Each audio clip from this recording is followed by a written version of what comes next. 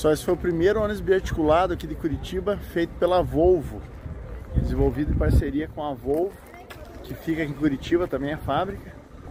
Fizeram o primeiro ônibus biarticulado. Olha aí que bacana. Depois eu vou mostrar a placa deles.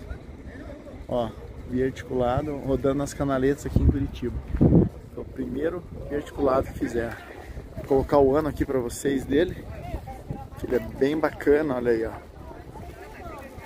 Placa dele é ADM 6713. Aí vocês vão ver o ano dele aqui, que foi o ano do biarticulado.